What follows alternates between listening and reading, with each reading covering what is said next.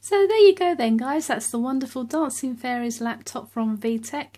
Uh, my favourite part is the opening.